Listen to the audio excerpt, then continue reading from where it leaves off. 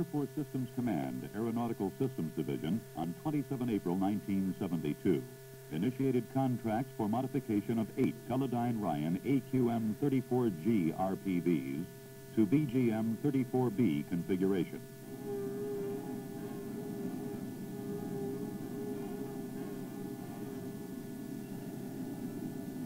Objectives of this program were to design and develop a remotely piloted strike support weapon system with modifications and improvements over the BGM-34A. The remotely piloted vehicles were modified with larger control surfaces and full-time proportional flight control systems for asymmetric flight with stores. Also installed was an improved data link and automatic two-axis antenna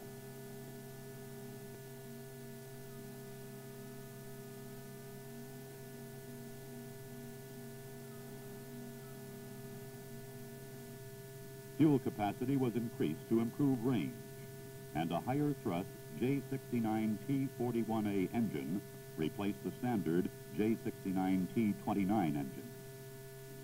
The BGM-34B has two nose configurations. The TV targeting system for the Maverick and stubby hobo weapons, and the laser target designator configuration for the Mark 81 self-propelled air-to-surface munition Spasm. The RPVs were transported by DC-130 to the 6514th Test Squadron at Hill Air Force Base, Utah, where assembly and system checkout were accomplished. Operational and instrumentation facilities were set up at the Dugway Proving Ground, Wendover Ranges. The BGM-34B flight test target area was laid out in a valley about 20 miles west of Michaels Airfield. Surplus Army trucks and tanks used as targets were spaced out along a 400-yard stretch of roadway. The RPV ground control van and other range equipment were located approximately 8.3 miles east of the targets. Ground control flight tests were conducted from this site. Air-controlled flights were conducted from the prototype Tactical Air Command DC-130 Strike Air Director. A standard MCGS RPV control van was modified for multiplex commands to accommodate proportional flight control. A 525-945 line television system was installed, and a weapon fire control position added. The flight control and weapon delivery system is operated by a two-man crew, the RPV control officer and the weapon control officer. Delivery of live stores was made after several RPV and range systems checkout flights were completed. During the test program, 21 sorties were flown with both inert and live weapons. For the most part, mission profiles were basically the same.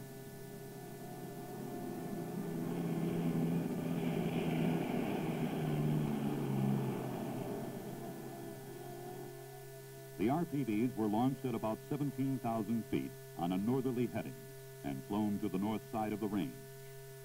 Here, the RPV controller dives the RPV to mission altitude of about 1,000 to 2,000 feet and turns the RPV into the target area. As the RPV approaches the target area, the weapon control officer acquires the target on the nose TV system and advises the RPV controller as to heading corrections to assure straight RPV ground track to the target.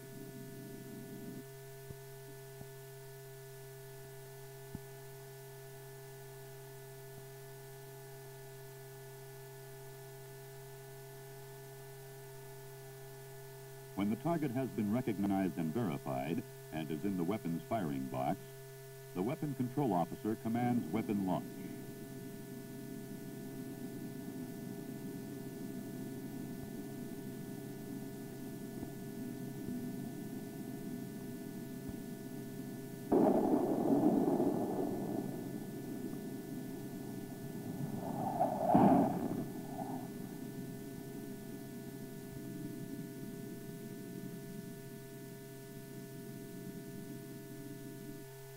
The RPV control officer trims the vehicle for asymmetrical flight and flies back to the north side of the range for a re-attack.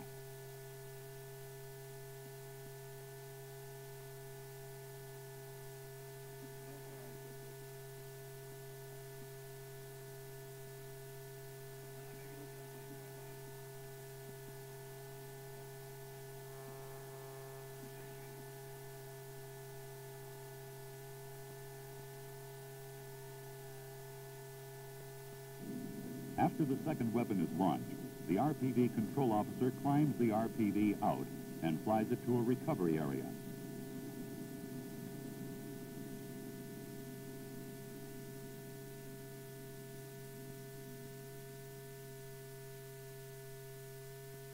where recovery is commanded and a mid-air retrieval is made. The RPV is then returned to maintenance and prepared for its next mission.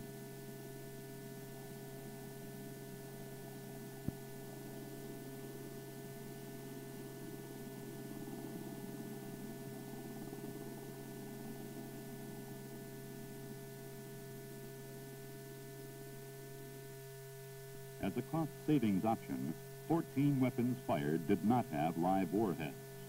But in all categories tested, weapons were delivered successfully to the target. As in this fourth mission of RPV-007, inert TV Mavericks were used. The target acquisition video from the RPV is good.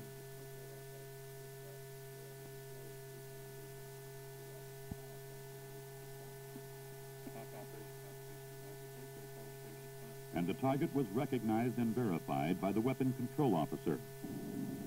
Number one, the left-hand Maverick, is launched at 1,800 feet AGL.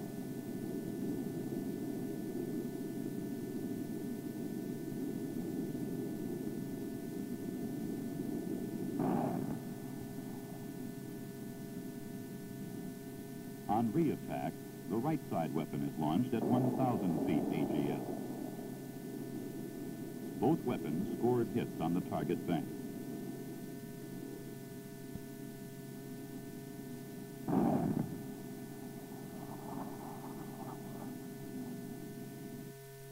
Both Mark 81 Spasm weapons and the Hobos proved to be effective weapons when integrated with the laser target designator and TV RPV systems, respectively.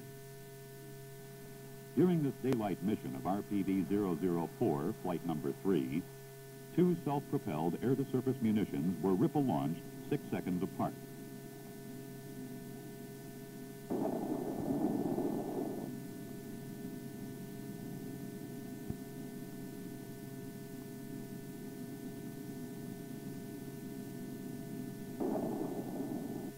Using a ground laser to designate the target, weapon number one secured a direct hit.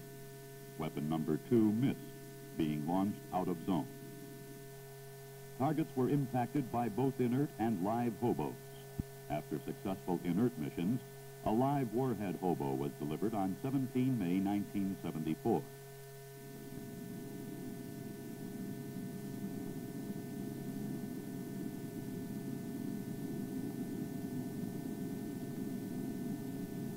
The target, a two and a half ton truck, was acquired and identified. The weapon launched into the firing box at 2,000 feet AGL and continued to a direct hit on the target.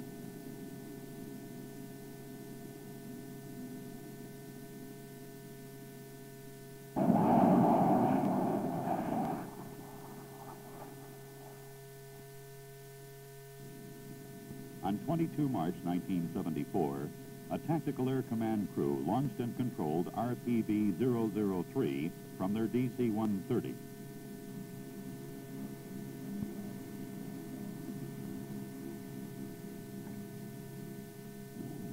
Firing a live Maverick weapon with a direct hit on another two-and-a-half-ton truck target.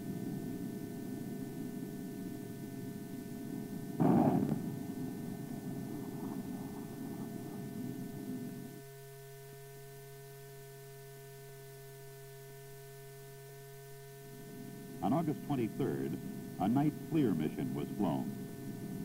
The target, designated by the RPV's laser, was acquired and the weapon launched. The first weapon impacted short of the target. On re-attack, the second weapon hit its target area.